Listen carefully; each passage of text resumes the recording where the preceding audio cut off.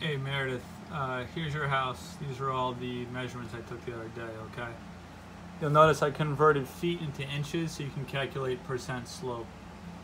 And everything's color coded. So from here to here, 360 inches the distance. That's where your gate is that enters the from the driveway.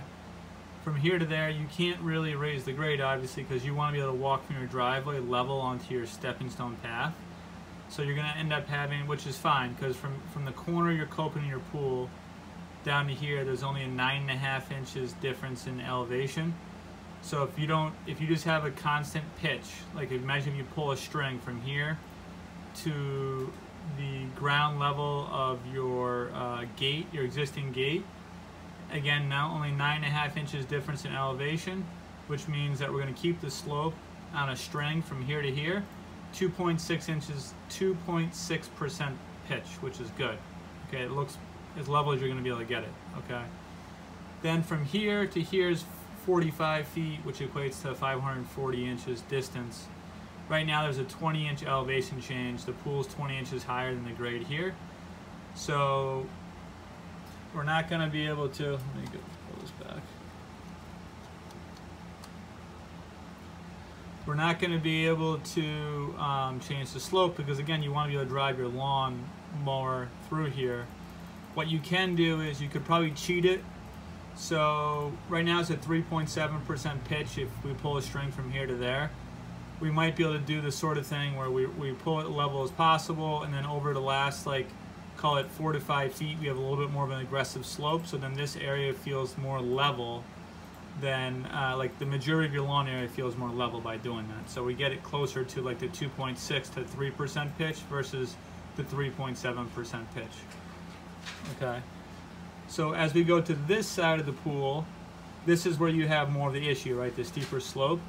So it's 156 inches distance from here to the right side of your existing trees and there's a 23 inches difference in elevation right now. The pool is 23 inches higher than the two dots. Again, everything's color coded.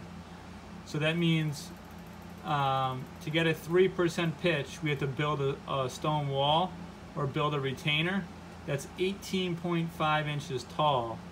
So this wall at this point, running along this side, would have to be 18.5 inches tall then you'd have it gradually slope down to zero inches tall to level with the ground over here.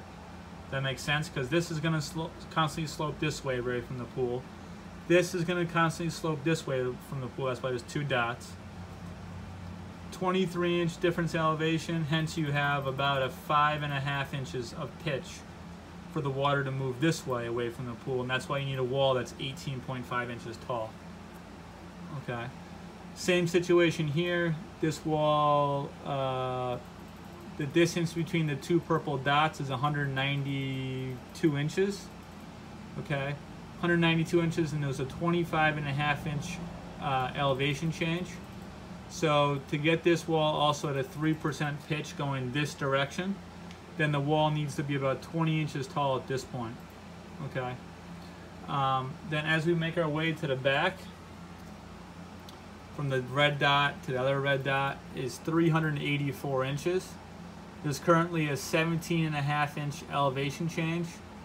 So if you want to get that closer to say a 3% pitch, then 0.03 times 384, that equals 11.5 inches. Okay, so 17.5 minus 11.5.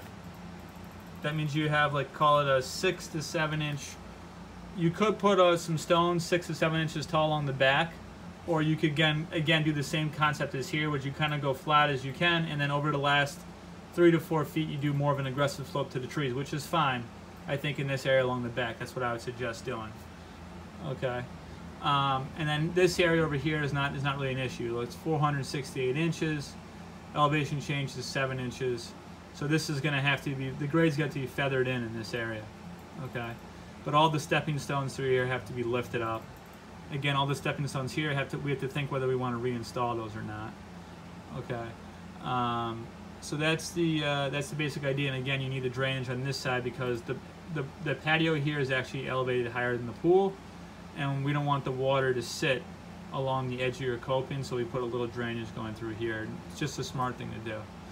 So um, I'll shoot this over to you and then we'll take it from there. Thanks.